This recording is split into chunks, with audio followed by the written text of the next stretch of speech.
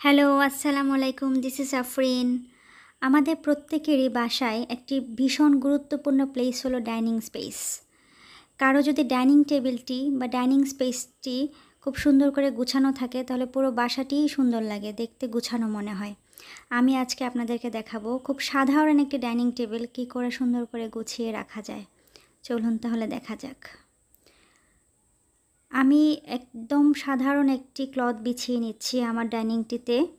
এটি আমি new market থেকে কিনেছি অনলি পাঁচশো টাকা দিয়ে। আপনারা এক হাজার বারোশোর মধ্যে এর থেকে অনেক ভালো ক্লথ পাবেন। আমি এখানে একটি রানার বিছিয়ে নিচ্ছি। রানারটিও আমি নিয়েছিলাম নিউ মার্কেট থেকে দুশো টাকা দিয়ে। তো খুব সাধারণ একটি রানার এবং ক্লথটিও খুব সাধারণ। আর আমার একটি ছোট্ট ব্যালকনি আছে, এখানে আমি টুকটাক গাছ লাগিয়েছি। তো এখান থেকে আমি কিছু মানি প্ল্যান্ট নিয়ে নেব আমার টেবিলটিতে দেওয়ার জন্য। টেবিলে যদি জীবন্ত গাছ থাকে, তাহলে টেবিলে, আমার সৌন্দর্যটাই যেন বেড়ে যায়, খুব আকর্ষণীয় লাগে।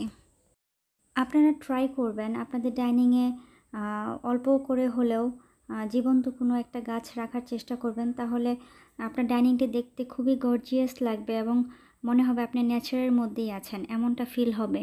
এবং খুবই আকর্ষণীয় লাগবে। আমার টেবিলটি বেশ পুরনো টেবিল পঁচিশ থেকে ত্রিশ বছরের পুরনো টেবিল তারপরও আমি চেষ্টা করি সুন্দর করে গুছিয়ে রাখার চেষ্টা করি। এবং আমার বাসাতে যারাই আসে বেশ পছন্দ করে, যখন দেখে যে এরকম করে আমি গুছিয়ে রেখেছি। আমি সবগুলো গাছ কেটে রেখেছি, এখন আমি এটা সেট করব। আমি সুন্দর করে পরিষ্কার করে ধুয়ে নিয়েছি। আমি এটি একটি বোতলের মধ্যে পানি দিয়ে রেখেছি। এটি আমি ডিরেক্ট পানি পটের মধ্যে দেব না। তাহলে এটা স্যাঁতস্যাঁতে হয়ে থাকবে, ভিজে ভিজে ভাব থাকবে। এই জন্য আমি বোতলের মধ্যে দিচ্ছি।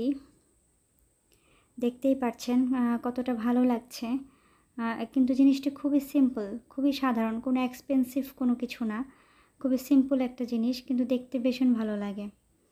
আমি এখন ম্যাট বিছিয়ে নিচ্ছি। সব সময় আমি আমার বাসায় ম্যাট বিছিয়ে রাখি না। আজকে আমার বাসায় গেস্ট আসবে, চায়ের দাওয়াত। তো তার জন্য একটু স্পেশালি আমি ম্যাট বিছিয়ে দিচ্ছি, যেন দেখতে একটু ভালো লাগে।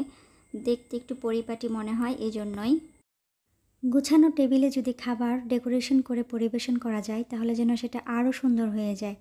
টেবিলটার সৌন্দর্য বৃদ্ধি হয়ে যায় সব কিছু মিলে অসাধারণ লাগে। আমার বাসায় গেস্ট আসলে আমি সবসময় খাবারের কম্বিনেশন মেনটেন করার চেষ্টা করি। আমার কাছে মনে হয় খাবারে যদি কম্বিনেশন মেনটেন করা যায়, তাহলে গেস্টরা খুবই পছন্দ করে। আজকে আমি আমার নাস্তায় ঝাল, মিষ্টি, টক সব ধরনের খাবার রাখার চেষ্টা করেছি এবং ওয়েলকাম ড্রিঙ্কস হিসেবে রেখেছি মিন্ট লেমনেন্ট ফাইনালি আমার টেবিলটির লুক এরকম এসেছে। দেখতে খুব সিম্পল লাগছে কিন্তু খুব ভালো লাগছে দেখতে। আজকে যে আমি আয়োজন করেছি সেটি অনেকটি বাফেটের মতো সেলফ সার্ভিস গেস্টরা নিজেদের মতো পছন্দ অনুযায়ী নিয়ে নেবে। আমি টেবিলের একটি কর্নারে কিছু প্লেট, কিছু ছোট ছোট বাটি, কিছু চামিচ রেখে দিয়েছি। গেস্টরা নিজেদের প্রয়োজন মতো নিয়ে নেবে। এখন এমনটা সবাই বেশ পছন্দ করে সেলফ সার্ভিস সিস্টেমটা সবাই খুব পছন্দ করে। আমি বেশিরভাগ সময় এমনটাই করে থাকি ডিনার লাঞ্চ কিংবা নাস্তা, আইটেম যেটাই হোক না কেন, এমনটা করার চেষ্টা করি। খাবার সার্ভ করার পরে ফাইনালি আমার টেবিলটির লুক এরকম এসেছে। দেখতে বেশ ভালোই লাগছে, খারাপ না। যারা খুব সিম্পলের মধ্যে আপনার টেবিলটি সাজাতে চান, তাদের জন্যই এটি। এখন প্রায় আমার গেস্টরা আসার সময় হয়ে গিয়েছে। আমি আমার যে কিছু লাইটিং ছিল সেগুলো জ্বালিয়ে দিচ্ছি। গেস্টরা আসবে তাই। আপনাদের যদি এই ভিডিওটি ভালো লেগে থাকে, তাহলে অবশ্যই আমার চ্যানেলটি সাবস্ক্রাইব করবেন, লাইক করবেন, কমেন্ট করবেন। আপনারা সবাই ভালো থাকবেন, সুস্থ থাকবেন। আল্লাহ হাফেজ এবং আমার সাথে থাকবেন।